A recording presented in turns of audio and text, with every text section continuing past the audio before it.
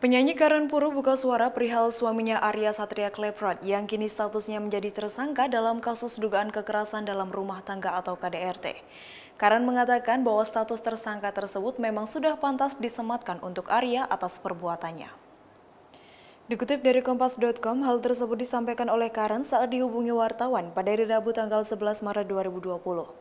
Penyanyi jebolan Indonesian Idol itu pun mengaku baru mengetahui bahwa Arya telah menjadi tersangka. Ia pun menjabarkan harapannya agar proses kasus yang menjerat Arya itu bisa dipercepat. Diberitakan sebelumnya, Kapolres Tabes Bandung Kombes Pol Ulung Sampurnajaya menegaskan bahwa Arya telah menjadi tersangka atas kasus dugaan KDRT. Namun Ulung melanjutkan, saat ini pihak kepolisian belum menahan Arya. Polres Tabes Bandung akan memanggil Arya terlebih dahulu untuk memeriksa lebih lanjut berkait penetapan status tersangka itu. Adapun polisi menjerat Arya dengan pasal 45 ayat 2 Undang-Undang RI nomor 23 tahun 2004 tentang KDRT. Arya diketahui terancam hukuman 4 bulan penjara.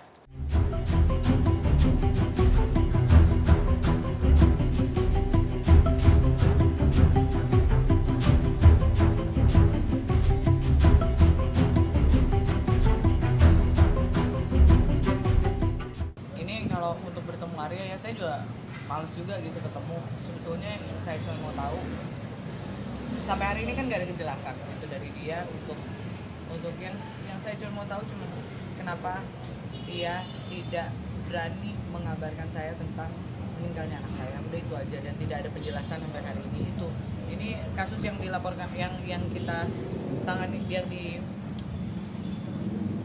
apa kita konfrontir hari Ya, ini ya. konfrontasi hari ini bukan kasus Zevanya ya. Ini kasus yang lain yang saya, saya, saya sudah laporkan. Kalau untuk Arya sendiri aduh saya males juga berkomentar bahwa ya kalau misalnya ini mau terserah lah mau mau ngasih tahu atau enggak nanti biar uh, hukum aja yang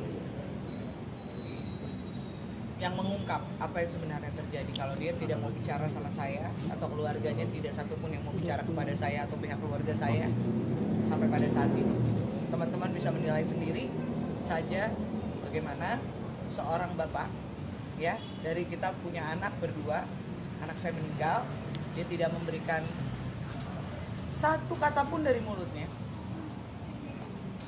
tentang kronologis atau apa yang terjadi sebenarnya kepada anak saya. Itu aja sampai sekarang. Coba kalau ada yang berani buka mulut. Itu aja. Bahkan sejauh otopsi kemarin juga nggak ada ngobrol. Iya.